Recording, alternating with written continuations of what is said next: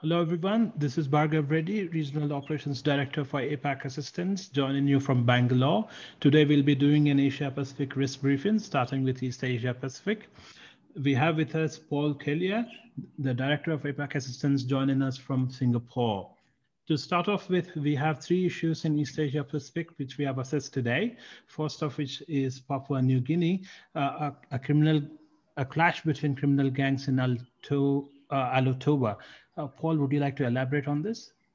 Yeah, the, look, the clash in Alotau, it's pronounced Bhargav, is it's a town or residential area on the north coast of Milne Bay in PNG. It's about an hour's flight from Port Moresby to the east on the same island. Milne Bay is a very big island in the south um, east corner.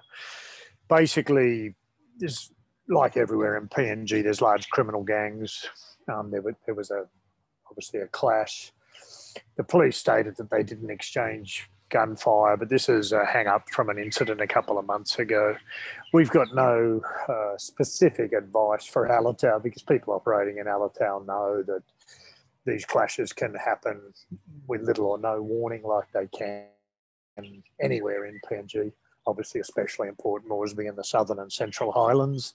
But this goes to uh, show that even the remote areas on the coastal fringes can also get out of control. Yeah, so I mean that's a quick summary of the situation in Alotau.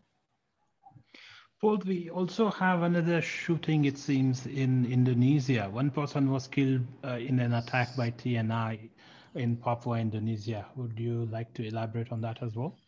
Yeah, sure, Bhargav. Look, there was basically a, an accident involving a soldier that ran in and hurt some local Papuans in Jayapura. Jayapura is a city on the north coast on the border between Papua New Guinea and Indonesia in the province of Papua.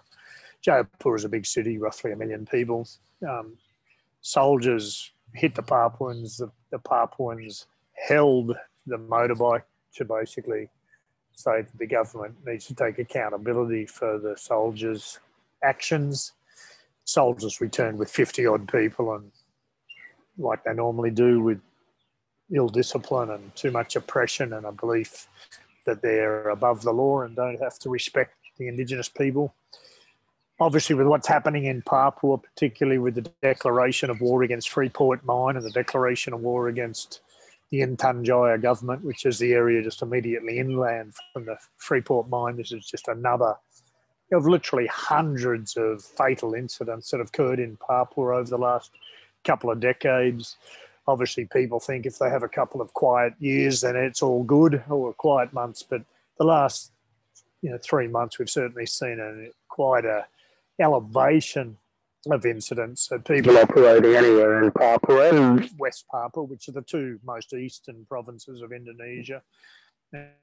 And basically, with the large Melanesian populations and the history of oppression and wealth being taken from oil, gas, and mining, and some fairly large incidents in the history of Papua. It's a very insecure environment at the moment and getting more so. There's only so long you can treat people with oppression and greed before it comes back on you. And if you're not open and honest, especially with Melanesians, uh, you, you, you, you reap what you sow. Go ahead, Bhargav. Anything else you want me to cover off on? Well, Thailand continues to be in focus. There seems to be no de-escalation in sight. Uh, can you uh, can you give your insights on the protests which are ongoing in Bangkok as we speak? Yeah, look, I mean, obviously Thailand's going through a very very unique time. It's uh, you have to go back to 1932 since the last time the royal family were openly challenged. Obviously, you've got pro-democracy movement trying to unseat the existing government. So Prayut's uh, original um, military intervention led to power, where he basically fabricated new political parties to lessen the power of um, Thaksin and his supporters. Where it's very different this time is they're actually calling for reform of the monarchy. And the pro democracy movement obviously got hit up with water cannons yesterday trying to go to the Grand Palace to deliver some uh, mock up post boxes but this is going to be a prolonged situation in Thailand, obviously without the calming influence of the late king and General Prem, both of whom died in the last couple of years. the new monarch's trying to find his feet, and the pro democracy movement's trying to grow power and push for reform. And they've also alienated themselves from large chunks of society where there is a massive respect for the monarch as an institution. So we, we expect this elevated risk environment to continue whilst the multinationals and Westerners are not the target. People need to avoid and be cognizant of the disruptions to transport, both road transport, but also the SkyTrain and, and also the subway, because ultimately the democracy movement is trying to disrupt to get its voice heard. So people need to be very, very aware of the disruptions. And whilst they're not targeted directly, there is going to be um, both a proximity danger in any demonstrations, so avoid that. But there's also chance of long-term supply chain disruption. More importantly, disruption, people getting to and from work. So companies need to really look into their policies for work from home and uh, look at alternate work locations for critical meetings. So have zonal uh, meeting locations identified in the various um, geographical sectors of Bangkok, Bhargav. Uh, thank you very much for the elaboration of major issues in East Asia Pacific, Paul.